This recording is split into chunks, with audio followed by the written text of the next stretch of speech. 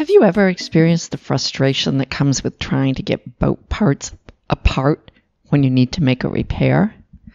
Whether it's as simple as a hose clamp or something as large as a water pump, thinking ahead can make your next repair much easier. I'm Carolyn Shearlock, and on this episode of the Boat Galley Podcast, I'll tell you about one product that should be in every boat owner's toolbox. Today's episode of the Boat Galley Podcast is sponsored by Mantus Marine, maker of the Mantus Anchor, now available in models with and without a roll bar. Proven to set reliably in the most challenging bottom, the Mantus Anchor digs like no other, making anchoring safer and boating more enjoyable. Mantus Marine brings to market practical, durable, and affordable marine products, including anchoring gear, scuba diving accessories, and a rechargeable waterproof headlamp for hands-free lighting. Visit Mantus, M-A-N-T-U-S, marine.com and see for yourself. So let's talk about how to keep metal parts from seizing. How often have you or someone on your boat spent hours trying to get something apart? Say a hose clamp, unscrewing a water pump, trying to remove the deck fill plug, removing a shackle on the Genoa.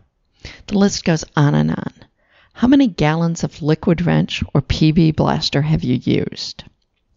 No, I'm not going to tell you a secret way to get stuff apart today.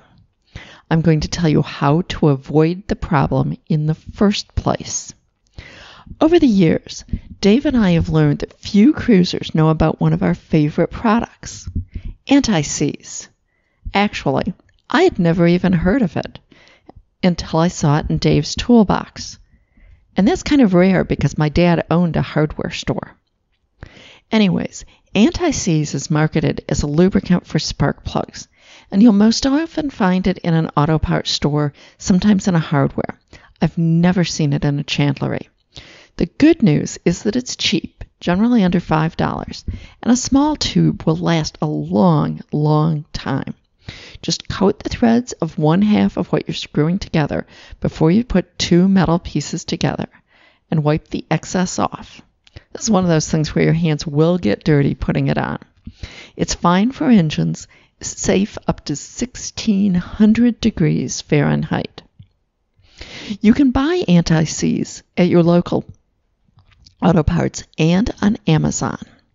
I just discovered that there is also a food grade version of anti-seize for use where it may come into contact with your drinking water. This would be better to use on things like your deck fill for water than the standard. Dave didn't even know it existed. I have never seen it in a store. It is only available on Amazon as far as I've been able to see. And the one thing to know about it is that it's only good to use up to 900 degrees Fahrenheit. I certainly don't intend for any part of my boat to get up to 900 degrees. There's links to it in the show notes for both the regular and the food grade one on Amazon. Once you open a tube of this, you need to keep it in like a heavy duty freezer plastic bag or reusable silicone bag. If it just sits in the toolbox on a boat, other stuff will hit it and most likely puncture the tube or at least squish it, and you'll end up with this stuff everywhere. And it does make kind of a mess. If it's in a bag, it's much less likely to puncture, and if it does, the mess is contained. Also, if it's in the bag, you can still just stick your finger in, get a little bit of the anti-seize out, and still use it. It's not wasted. On board our boats, we've used anti-seize on all sorts of stuff.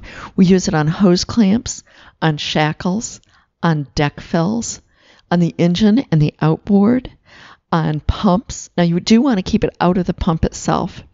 We use it on mast and boom hardware, and it's really important when you're putting stainless screws, say, into an aluminum mast. If you don't use Tef-Gel, which is another favorite product, anti-seize is great for this. And anywhere that we use lock nuts, we always use anti-seize. If you're not using lock nuts, you're going to have to choose between using anti-seize to get it apart in the future or Loctite to keep it from coming apart into motion. And uh, if you live a shore part time, it's good for lots of land projects too. Anywhere that two metal pieces come together. That's it for today.